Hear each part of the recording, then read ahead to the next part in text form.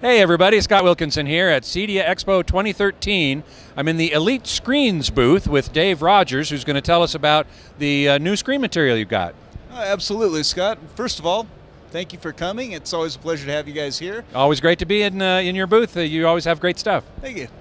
Uh, we have a uh, new product here. It's it's our Dark Star. And uh, actually, we, we have a line of ambient light rejecting screens that we've really been uh, perfecting for the various channels. As you can see, we uh, left the roof at home today. yeah, in your booth here, normally you would have it blacked out and Absolutely. a roof on it because you've got these giant lights overhead in the convention center. Absolutely. We'd normally want to get that performance, just get that, you know, the best possible out. light, yeah. yeah.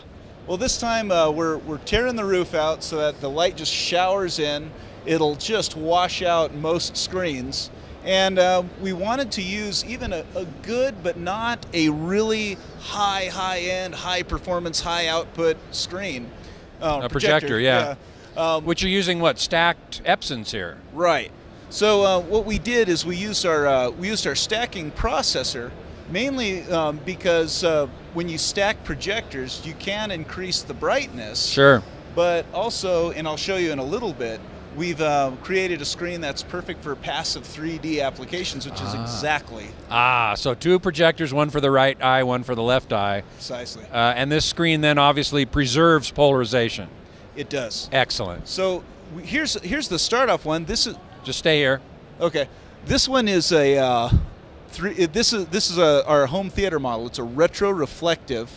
Um, now, what does that mean exactly? Retro reflective. Retro reflective means when you project on it, that light is coming straight back ah. the same angle that it came in. Okay.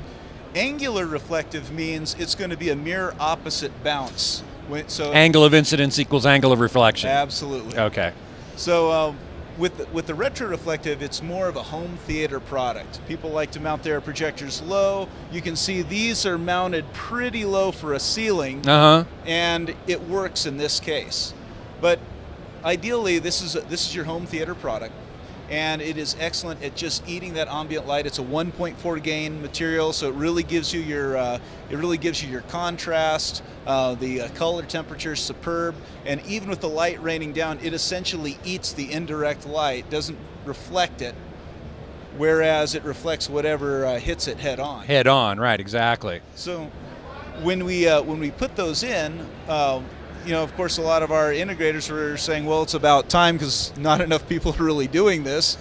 Um, we had another voice come out of the industry from the uh, commercial guys saying, well, we like that and we get that sometimes, we get requests for that sometimes too, but we don't want retro reflective, we want angular reflective. Um, and while you're at it, even though we've already determined nobody likes a dedicated 3D product, people are interested in a product that is 3D when you want it to be.